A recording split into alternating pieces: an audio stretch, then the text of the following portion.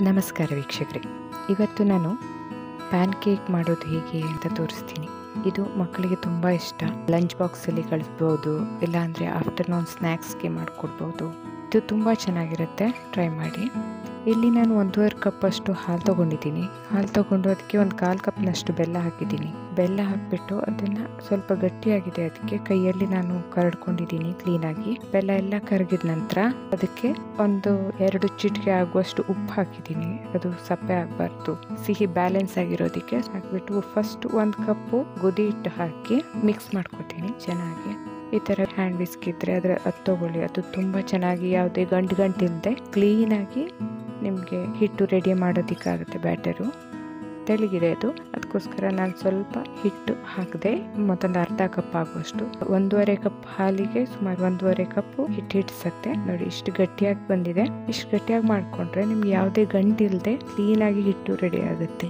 ಆಮೇಲೆ ಸ್ವಲ್ಪ ಹಾಲು ಹಾಕಿದ್ದೀನಿ ಅದಕ್ಕೆ ತೆಳಗಾಗೋದಕ್ಕೆ. ಹಾಕ್ಬಿಟ್ಟು ಅದಕ್ಕೆ ಬೆಲ್ಲದ ಫ್ಲೇವರ್ ಇಷ್ಟ ಇದ್ರೆ ಮಕ್ಕಳಿಗೆ ಹಾಗೆ ಕೊಡಿ. ಇಲ್ಲಿ ನನ್ನ ಮಕ್ಕಳಿಗೆ ಅಷ್ಟೊಂದು ಇಷ್ಟ ಇಲ್ಲ ಬೆಲ್ಲದ ಫ್ಲೇವರ್ ಅದಕ್ಕೋಸ್ಕರ ವೆನಿಲಾ ಎಸೆನ್ಸ್ ಸ್ವಲ್ಪ ಹಾಕಿದ್ದೀನಿ ಫ್ಲೇವರ್ಗೆ ಆಮೇಲೆ ಒಂದು ಟೀ ಚಮಚ ಅಷ್ಟು ಬೇಕಿಂಗ್ ಪೌಡರ್ ಹಾಕಿದ್ದೀನಿ. ಅರ್ಧ ಟೀ ಚಮಚ ಆಗುವಷ್ಟು ಬೇಕಿಂಗ್ ಪೌಡರ್ ಹಾಕಿ ಜಾಸ್ತಿ ತಿರುಗಿಸ್ಬಾರ್ದು ಈಗ. ಸ್ವಲ್ಪ ಮಿಕ್ಸ್ ಚೆನ್ನಾಗಿ ಮಿಕ್ಸ್ ಆಗಬೇಕು ಅದು. ಮಿಕ್ಸ್ ಆದ ನಂತರ ದೋಸೆ ತವನ ಬಿಸಿ ಮಾಡಿ, ಸ್ವಲ್ಪ ಬಿಸಿ ಆದರೆ ಸಾಕು. ನಮ್ಮ ದೋಸೆ ಎಲ್ಲ ಹೋಯ್ತೀವಲ್ಲ, ಅಷ್ಟೆಲ್ಲ ಬಿಸಿ ಆಗಬಾರ್ದು. ಸಣ್ಣ ಉರಿನಲ್ಲಿ ಬಿಸಿ ಮಾಡ್ಕೊಳ್ಳಿ ಫಸ್ಟು ದೊಡ್ಡ ಉರಿನಲ್ಲಿ ತವ ಬಿಸಿ ಮಾಡ್ಕೊಳ್ಳೋದಿಕ್ಕೆ ಹೋಗ್ಬೇಡಿ. ಪ್ಯಾನ್ ಕೇಕ್ ಹಾಕಿದ ಕೂಡಲೇ ಅದು ಕತ್ತಿ ಹೋಗುತ್ತೆ.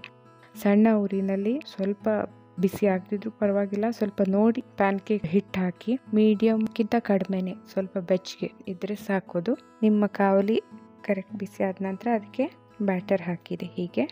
ಹಾಕಿ ಅದನ್ನು ಮುಚ್ಚಿಡಿ. ಮುಚ್ಚಿದ ನಂತರ ಅದು ಕ್ಲೀನಾಗಿ ಎಲ್ಲ ಈ ಥರ ಕಣ್ಣು ಬಿದ್ದು ಒಂದು ಸೈಡು ಕ್ಲೀನಾಗಿ ಬೆಂದಿರುತ್ತೆ. ಆವಾಗ ಅದಕ್ಕೆ ಮೇಲ್ಗಡೆಯಿಂದ ಬೆಣ್ಣೆ ಹಚ್ಚುತ್ತಾ ಇದ್ದೀನಿ. ಹಚ್ಚಿಬಿಟ್ಟು ಅದರ ತಿರುಗಿಸಿ ಹಾಕ್ತೀನಿ. ನೋಡಿ ಇಲ್ಲಿ ಕರೆಕ್ಟಾಗಿ ಬೆಂದಿದೆ.